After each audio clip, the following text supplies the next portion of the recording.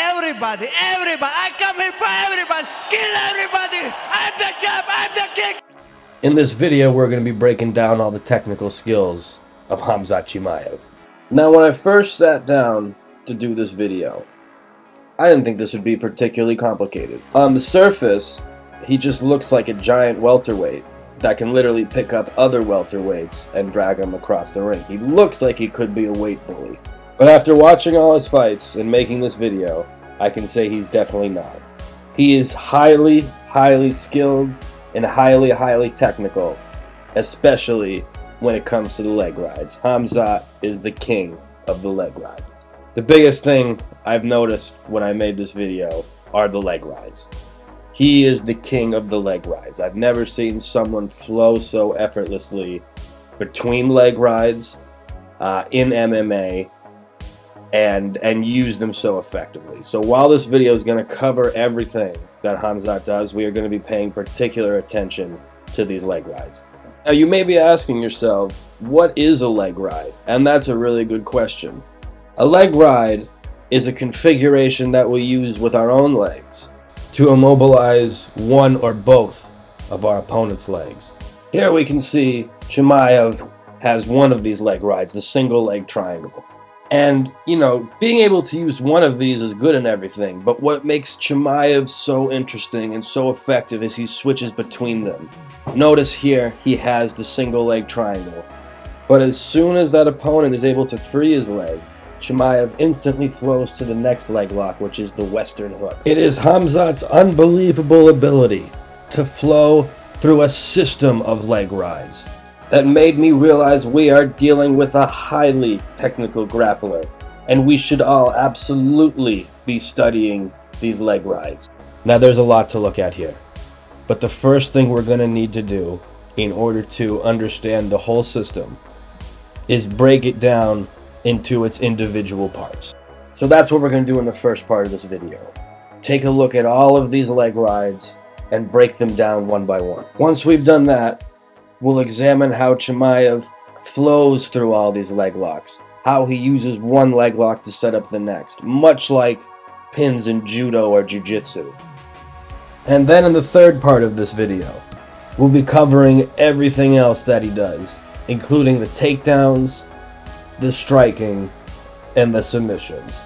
This is the ultimate Khamzat Chimaev breakdown.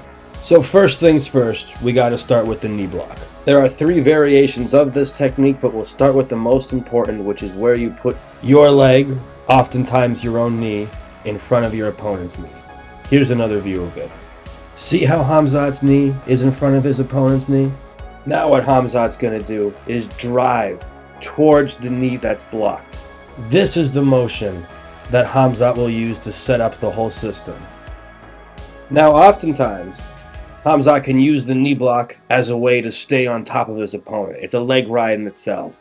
But here's the thing, when Chimaev knee blocks and drives in that direction, he either is going to break the opponent down, or he's going to break down his opponent, off balancing them for long enough and distracting them long enough in order for Hamzat to advance to the next leg ride, which in this case is going to be a calf pin like you're seeing here. A technique that Hamzat set up through using the knee block. If you understand striking, it might be useful to you to think of this version of the knee block as the jab of the leg rides. It is a low effort, high reward technique that, when combined with this motion of driving towards it, sets up the rest of the techniques within the leg riding system. Let's take a look at that in action. So Hamzat begins driving his opponent over that knee. And while he does that, he's able to navigate his way to getting a higher level leg ride, which is the Western Hook, a technique which we'll be breaking down later in this video. Now Khamzat's going to continue pressing down towards that knee block, only now he has the knee block and the Western Hook in place. So it's even worse now. And once again, he sets up a higher position using that knee block. So we've got the knee block here, right? And we've also got the Western Hook still here. Now, because that Western hook is there, Hamzat can go even further up the leg ride hierarchy now. So watch Hamzat's knee as his opponent lifts his own leg up. He's trying to escape that Western hook. Hamzat anticipating it releases his western hook and slides that knee block in. Now he's got a position he's even more dangerous from than the other two, which is this inside grapevine. We'll be going over this move later in this video, but what's important to know is it's high up on the leg ride hierarchy, it's very good, but he got there using the knee block, something low on the hierarchy, to set it up. To really drive this point home, let's take a look at another example. So here, Hamzat has that knee block in play. And as I've been saying, he's going to use that driving motion towards this knee block in order to get his opponent off balance here. And when he does that, he sets up this calf pin. Knowing the opponent will try to free his leg from this calf pin, as you're about to see here. Notice the opponent is lifting the leg up in an attempt to free himself from that leg ride. Hamzat's already released that calf pin. Hamzat, since he has a system, automatically knows when that leg comes up, he's going to slide his leg in that space and once again establish a high leg ride on the hierarchy, the inside grapevine. This is a move Hamzat can absolutely crush people with, but notice he set it up with that knee block. That's what I want you really to take away from this first version of the knee block. That first version sets up everything else. So that was the first version of the knee block. Let's take a look at the second version now. Difference being here, he's resting his knee on top of the opponent's knee instead of placing his knee in front of the opponent's knee like we saw in the first version. Now this is going to accomplish a couple things. One, pins that opponent's leg to the floor. Two, is it's going to free up the same side hand as Chimaev. So not only are you immobilizing one of his joints, but you're mobilizing one of your own. Now let's take a look at another example. So here we can see Hamzat's hand is engaged in grappling, but as he slides that knee on top of his opponent's knee, he's now going to be able to pull that arm free and do what he likes with it. In this case, he's going to put it back into grapple, but since that knee remains on top, he's going to be able to take it out again.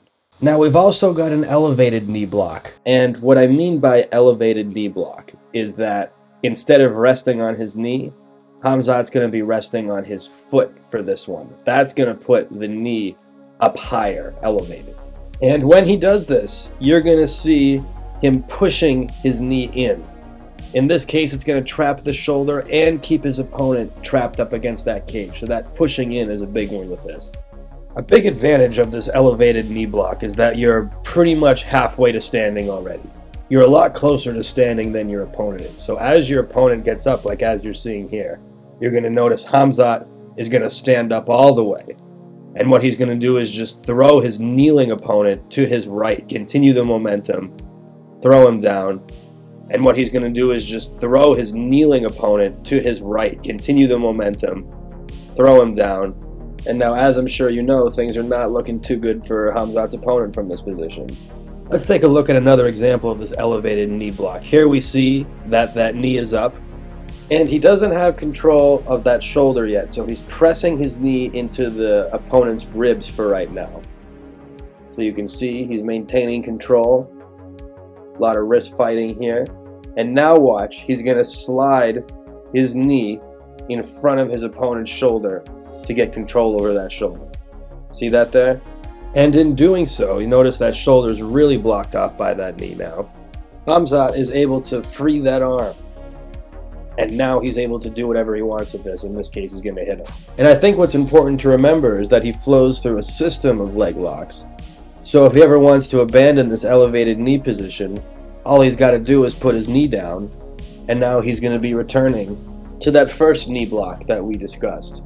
And that's the jab of the whole thing, and the whole ride starts all over again. Now, there's other names for this move, but in my high school, when I was wrestling, we called it the Western Hook. So for this breakdown, I will be referring to it as such. So we're starting off in this knee block position here. And once again, we're going to drive towards the knee block to create that initial momentum that's going to allow the next chain of leg locks. We do that, and now pay attention to Hamzat's right knee here. With his opponent broken down, Hamzat's going to lift that knee up, and now he's going to scoop his ankle underneath the ankle of his opponent to establish the Western hook. Notice how Hamzat's leg is wrapped around his opponent's leg. Now, one of the main functions of this Western hook is that Hamzat can use it, or anyone that uses it can use it, to keep that opponent's leg extended as he tries to get up. As long as that leg is extended away from him, he'll be stuck there and he won't be able to stand back up. And not only that, but notice as he's trying to stand up, Hamzat's able to get one of his arms free. Occupying one of those legs frees one of the arms, and Hamzat can hit, wrestle, do whatever he likes. And that's going to be a reoccurring theme here. Those leg rides free up your hands to hit or do whatever you like with them. Let's take a look at some more functions of this Western hook. This is a great move. Notice here, Khamzat's got the uh, Western hook. In this situation, he's hooking the opponent's right leg with his left leg. It was vice versa in the last situation. Notice how Khamzat's going to be able to free the left arm, land a few strikes here. And here's one of the cool things about the Western hook. He's going to use it to pull his opponent back and get him off balance. So watch as Hamzat actually drags this Western hook. Watch this foot. He's going to hop it back, and he's going to use it to get his opponent broken down. Notice he's bent the opponent over, and he's broken down the posture. All by using that hop back with the Western hook. So we saw him hop back, but we can also see him hop forward with the Western hook. So now he's going to push off this foot going forward and he's going to use that again to get the opponent even more off balance and more broken down. So we hopped back, broke him down a little bit. Pushed forward, got him all the way broken down. Well, not all the way. He's on all fours, but he's significantly lower than he was before by using the hop back and hop forward with the Western hook. So apart from being an excellent technique to immobilize your opponent, make it hard for him to get his leg back when he tries to stand up, and break down your opponent, it is also a great transitional technique as well. And what we're going to see here is Khamzat use the Western hook to transition to a different leg lock in the system. So we know that this Western hook is on, meaning that the right leg of his opponent is immobilized. So the leg that's going to be moving in this case is the left leg. The right leg can't do anything, so the left leg is going to have to come into play here. So opponent lifts that knee up. And look, as soon as he does, watch Hamzat's left foot. He detaches the western hook and immediately throws in an inside hook, which we'll be talking about later. This is one of Hamzat's best techniques, is this hook right here. It was set up by using that western hook. A move that's similar to the western hook is going to be shin pinning the leg, this case the ankle or the calf. So watch, we're going to watch Hamzat knee block and drive to knock his opponent over. As his opponent's trying to figure out that, he's going to slide his own shin on top of the opponent's leg. This way it's like between the ankle and the calf. And notice he hooks around. This is a good control point for Hamzat and it's very easy to get. It's also very easy to get in combination with that knee block. Like the Western hook, this move not only immobilizes the leg, but is also a terrific transitional tool as well. So Chimaev's opponent's going to try to escape by straightening out this leg. Watch this. As he does, Hamzat immediately takes off that shin pin. He repositions it behind himself like so. And if we now watch the left leg of Chimaev, we're going to see him once again use this as a way to enter the inside hook. As he lifts that knee up, bam, it's on. So you've heard me mention the inside hook a couple times now. I think it's about time we talked about it. Let's take a look at Khamzat set one up. What he's going to do is he's going to drag his opponent back like so. When he does that, he gets the opponent broken down. A pretty typical reaction is for the opponent to try to get back up right away. So watch as his opponent lifts his knee to try to get back. Hamzat immediately whips that leg over, and now he's going to curl the heel back to get the inside hook. Now Hamzat's really going to hook it on. Watch that leg. He's going to curl it back even more. And this is when the inside hook becomes really strong. What I mean by that is Hamzat's ankle is now past his opponent's ankle. Now, if Chimaev has this inside hook, right, and you're up like so, like these guys are pretty upright right now, what he's going to start doing is looking to grab your wrist and break you down. Because if he can break you down while he has an inside hook, this starts to become really dangerous for the bottom guy. Especially if he starts throwing him that double wrist ride there, like he's always looking to do. What he's going to do is pull on that, and use it to shin pin your other leg. So now he's got an inside hook and a shin pin on your other leg. And now you're in some real danger, especially because you're turned away from him. Let's look at another angle here. Here you can see the inside hook, and here you can see that shin pin. Notice how broken down the opponent is now. Khamzat's like just sitting on it, posturing up, and the opponent's stuck, turned away from Khamzat because of that leg configuration of the inside hook and shin pin. One of the only things this guy is going to be able to do is try to get up onto his elbow and attempt to begin trying to escape. But all that does is open up the double wrist ride that we talked about, right? We've called this the Dagestani handcuff in the past. I've made a video where I called this a Dagestani handcuff. And that's going to allow him to suck that wrist in and really start putting the weight down. Uh, once that weight comes down, oh, you're just trapped there. It's a miserable position. We can beat you once he frees that left hand. Not only that, but turn too far away from him, and he starts going for the rear naked choke. So it's a great position. That inside hook, you can get it from the turtle position, or you break them down to their back, and you get that inside hook and shin pin. And one thing you're going to see a lot from Khamzat is he adds a grapevine onto his inside hook. So this is a move in combination with the inside hook that we just discussed. So just like before, we can see that Khamzat has that inside hook on the opponent there. And as we zoom away, we're going to see what Khamzat's doing with his foot. See how he's wrapping his foot around the opponent's shin?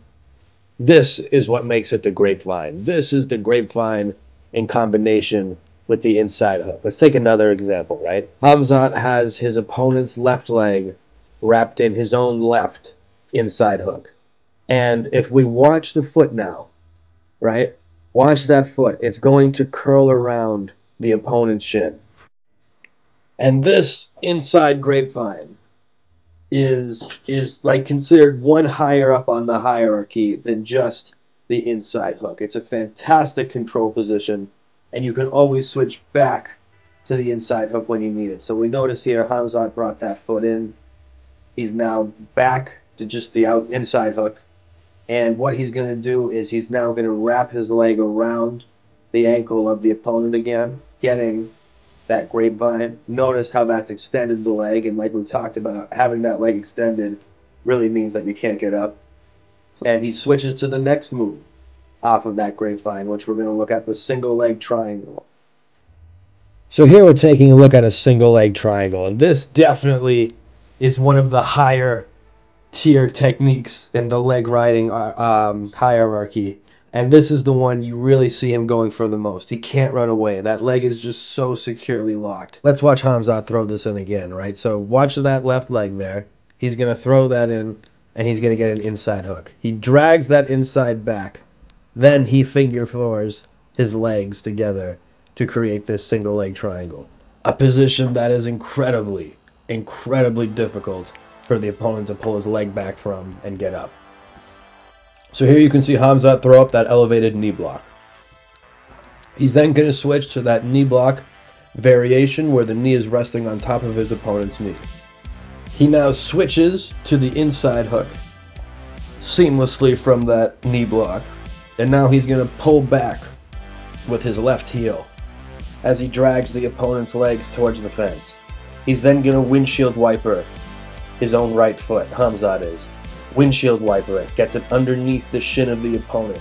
Now he's going to throw that left leg right on top of the right leg to make the triangle configuration. Here is pretty interesting too because he's tucked his own right foot underneath the leg of the opponent. A little different than your standard triangle. Here we're going to see it again. Notice there's the inside hook from Chimaev. He's going to drag that heel back. Instead of going for the shin pin like we talked about, he's going to drag that heel back. And he's going to take that left leg now, he's going to throw it on top of his right leg. He's got that single leg triangle, and this is interesting. He even grapevines the opponent's ankle with this version. That's going to make this extremely difficult to escape from. Especially when he starts getting your wrist behind your back like that. Oh my goodness. Let's take one more look at him setting up the single leg triangle. Notice his opponent is crawling away.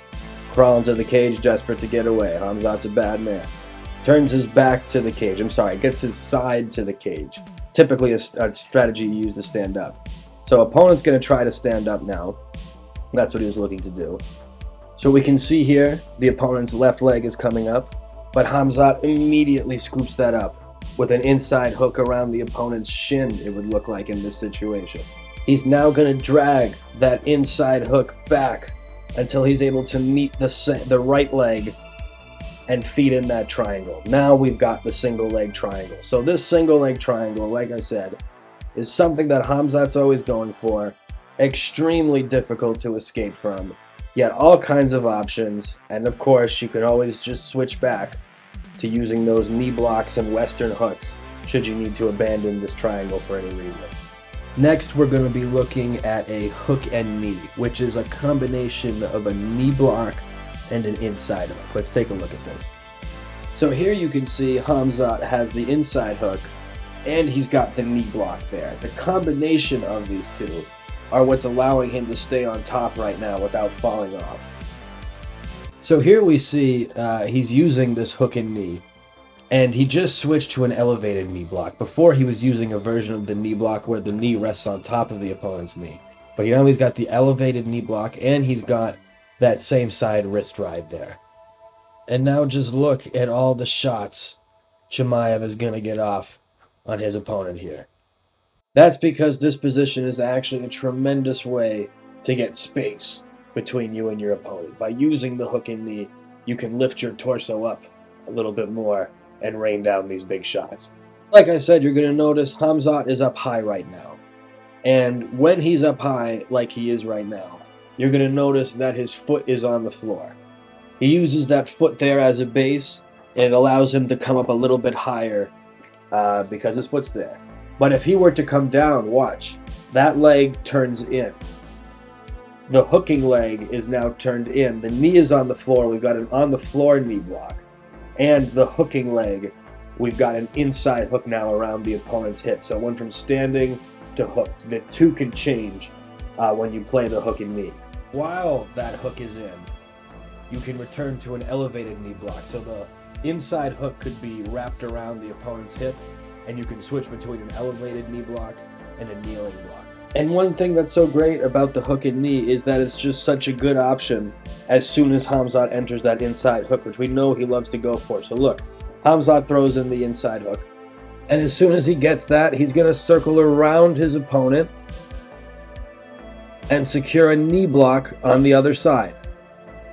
So he's gone around the opponent's back and established the hook and knee to gain control on the other side. So Hamzat's goal, right, he has one inside hook on the right side.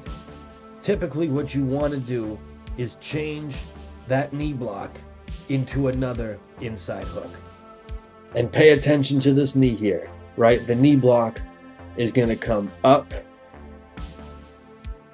and then around, and then he throws in his second inside hook, and now you're in some deep shit. Now this right here, what we're looking at, this is the back mount. This is the king daddy of all the leg riding positions. I've heard this called the double boots, the double hooks, whatever you want to call it. This right here, two legs in on top of the opponent and breaking him down.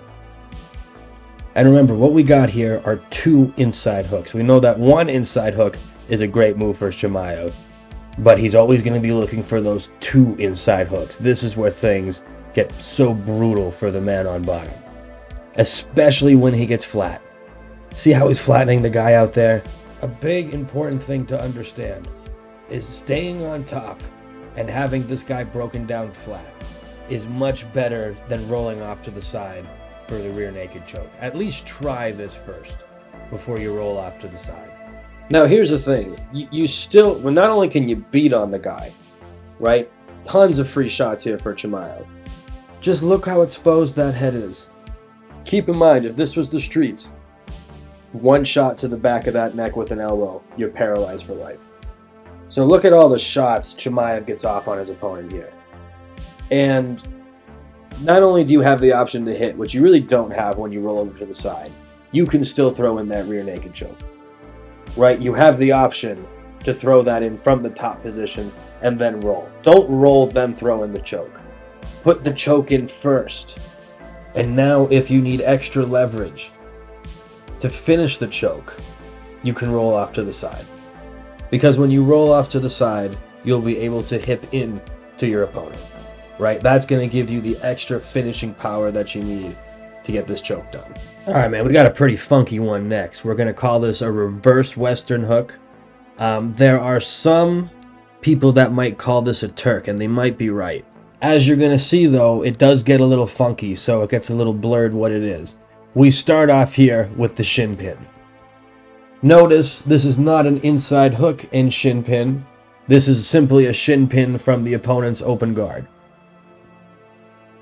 Now, if we change the angle on this, you're going to see Hamzat's leg is underneath of his opponent's leg. It's not threaded through like the left leg would be for an inside hook. The right leg is resting on top of his opponent's thigh. He's now going to pull on that wrist and push into his opponent. And what that's going to do is it's going to break the opponent down, like you're seeing here. And now watch Hamzat's right leg. It's like in the half guard of the opponent right now, but what he's going to do is lift up that foot and bring it over towards the cage. Now that's the part you might be able to call a Turk. Notice here too, he's placing his foot over the opponent's ankle and curling it around, creating a grapevine in addition to this hook. I don't know a lot of guys that can use this as a control position, uh, especially when the opponent comes up to their knees like they are now. You ever seen somebody use a leg ride like this to control somebody before? I haven't. If you have, comment below. But the reason I'm calling this the reverse western is because the leg is coming through from the outside in versus the inside out. So it's coming in the reverse direction, thus the reverse western. So what really amazes me is how well he can control people with this thing. It actually seems like a very effective technique and I've never seen anybody else use it before. And what's really cool to see is how this move integrates into his whole larger leg riding system, right? So we're going to see he's detached from that reverse western hook.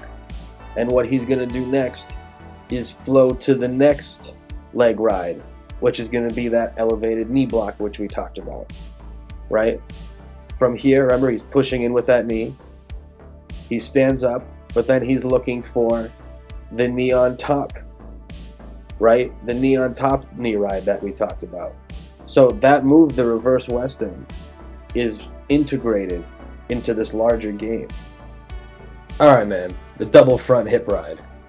You know, I feel like fighters have been doing this for a while, but it became really popular when Khabib started doing it, right? That leg triangle. But there's all kinds of leg configurations we could do, so watch. Pay attention to that left leg of Chimaev, right? He's kind of in the guard passing situation right now. But he slips that leg over the top and he crosses his feet and he ends up like sitting on the hip slash upper thigh of his opponent. And this is kind of different than the traditional guard passing mentality, right? Instead of the jiu-jitsu guy who would traditionally try to get past the legs, he's going to rest his hips on top of his hips instead. So he doesn't go past the legs. He just kind of chills there. And this makes it extremely difficult for the man on bottom to do anything. And oftentimes this struggle will end in mount. But it's not like you tried to get there, right? It just kind of happens. And then you can do mount things to him. Alright man, so now that we have broken down all of the leg rides that Hamzat uses. If you're still with me, I appreciate you infinitely. Let's take a look at some leg ride flows. And by flow, I mean we're going to watch him move from one leg ride to the next as he advances through the hierarchy of his leg riding system. So we see right now, as the system typically starts, we have Hamzat with that grounded knee block. Remember, I called this the jab of this leg riding flow system here right? As the opponent comes up, notice Hamzat turns that knee block into an inside hook. And in this particular situation, we have the grapevine as well. Notice that hook, that ankle hooking around his opponent's ankle. So we can see Khamzat starts beating up his opponent a little bit here using that grapevine. But then to get his base back, he's going to switch back to the inside hook. So this way he can post on his own foot, whereas with the grapevine, his foot is attached to his opponent's foot so he cannot post on it and get use it for balance. Now we're going to see Hamzat fight the wrists of his opponent. Fighting the wrists, by the way, is always integral into riding legs. You almost can't separate the two. And when Chimaev is able to get a little bit better balance, a little bit better base, he throws in that grapevine again and straightens out the leg of his opponent. But watch how he hooks and kicks it out straight. Right? Now with that leg extended, we're going up to a real high tier leg ride, which is the single leg triangle like you're seeing here. So here we're seeing a more traditional triangle with the left leg over the right knee and the right leg extended with the foot, the top of the right foot on the ground. Now Khamzat's opponent's going to use a tremendous amount of energy to try to get his leg free, and that's what Hamzat disengages. One good thing about this leg riding system is he knows when to take it off. He knows when to disengage from the leg ride. But what you're going to see him do is return to that basic.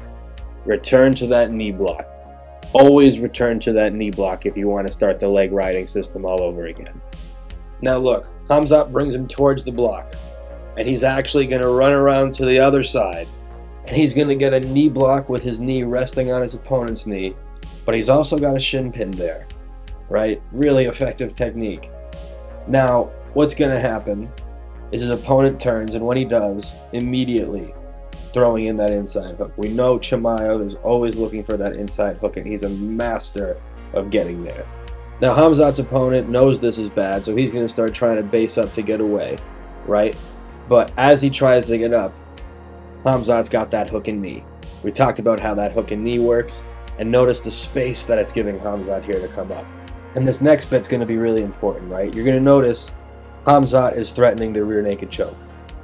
So not only is this a fight ender, but the opponent has to defend it. The opponent has to wrist fight here. And when he does, that's going to clear a space for the leg that's knee, the knee block, to become another inside hook. And that is when you're going to see Hamzat enter the king daddy of all the leg rides. The back mount, the double boots, the double hooks, whatever you want to call it. But what you just saw was all one sequence of a seamless, flawless leg ride flow all the way to flattening someone out with the highest in the tier, the back mount. Now, one move in particular, one submission in particular, that Khamzat's really good with, got three wins with it, is the Anaconda choke. And this is a great choke, and it works for Khamzat for this reason, right? The Anaconda choke is a figure four choke with the arm involved, the opponent's arm, one of them. And it also has like a leg riding aspect to it. Right? So the combination of throwing your legs over with that figure four lock in is what gets the choke. And since Khamzat, you know, he's such a leg rider, this is the perfect choke for him. The anaconda is the perfect choke. So look, he has the anaconda, right? Runs around, throws the leg over, right? Kind of on his back, but you know, angled off. And this is your leg ride aspect right here. It's the choke combined with some kind of leg ride. And in this case, watch this. This is he puts the guy right to sleep. Now against Kevin Holland is where you're really going to be able to see the anaconda and leg ride combination come together. So look, Khamzat's got the anaconda, right? Immediately, he's going to turn on his side and start throwing that leg. Right? So he's got a leg ride on Kevin's far leg, the leg furthest from Khamzat. And when Kevin gets that leg out, as you're going to see here,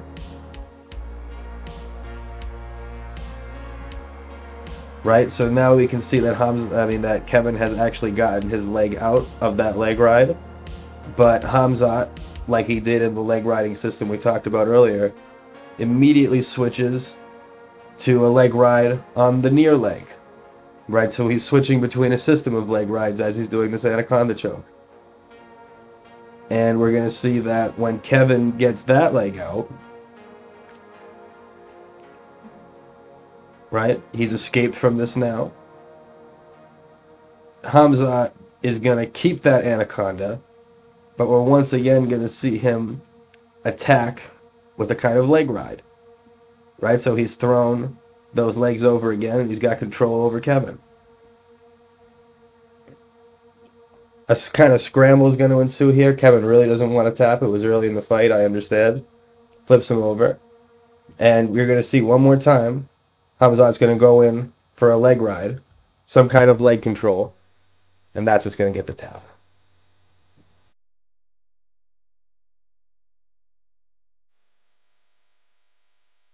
Hamzat has a special ability to do a drawing shot.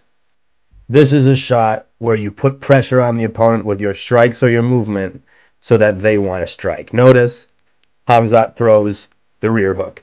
And that's going to draw out the lead hook of Gilbert Burns here. And when he throws that lead hook, Hamzat's going to duck underneath, enter in on the deep double. But he drew out that shot from Gilbert. Take a look at another example here. Hamzat Chimaev throws this big right kick to the body, right? That's going to eventually draw out the left hook of his opponent here. Hamzat immediately goes in, gets around both those knees, right to a takedown. Here we see again. Hamzat shoots in, kicks off balances the opponent. Here's another example, right? Hamzat's going to move in, and when he does, he draws the jab out of his opponent, right? immediately shoots in underneath that jab. So he drew out the strike that he reacted to. Here we see again. Hamzat throws out that fake jab, right? Opponent throws that big right, feels like he has to do it, draws out the shot, shoots in underneath. He's in deep, deep, deep, deep on that double. Here's another example, right? Hamzat goes in, throws that body kick opponent feels like he's got to respond, immediately goes to throw that left hook. Hamzat shoots it underneath, deep in on that double leg, gets that one leg up, hips underneath his opponent, blasts that knee up, slams opponent down. I wanted to include it because I think it's pretty underrated. Low kick to double. Watch. Kicks the leg, off balances opponent, gets him out of his stance, immediately drives it. He's got that body lock. They continue to wrestle. Hamzat pinches the knees together around that leg, an excellent technique. Lifts, slams him right down. So I'm beginning to notice more and more one of the most effective ways to take someone down is the bear hug drag down. And the way this works is you constantly kick out your opponent's legs until you can drag him down from him being off balance and having no base. So notice we've got a kick sweep, immediately switches to another sweep. He's going to be flowing through a bunch of sweeps here. Here's a third sweep, constantly keeping him off balance. Here's a fourth sweep, right? Throws in a knee block to continue getting him off balance. Throws in a second knee block, right? Now he's going to drag him down. Now he knows he's got the opponent off balance, drags him right down to the ground. Now we're coming to the end of this breakdown, and we'll go over some strikes. We won't spend tons of detail on the strikes but let's take a look at them. He has an amazing power jab, right? He can sit you down with just one jab. And that jab could be with the right hand, like you're seeing here, or it could be with the left hand, like you're seeing here. Very rare a fighter can knock you over with a jab from either side. And if you think his jab was powerful, wait until you see the straight right. The straight right will knock you into the shadow run. He's got absolute fucking dynamite in that right hand. Right? Not much more else to say about that other than don't get hit by it. And as powerful as that jab and that straight right is, that power uppercut that he's got might be even scarier. Because that uppercut is always the hardest to see coming. Look at the technique here. Perfect. Powers, angles off afterwards. Flawless technique here.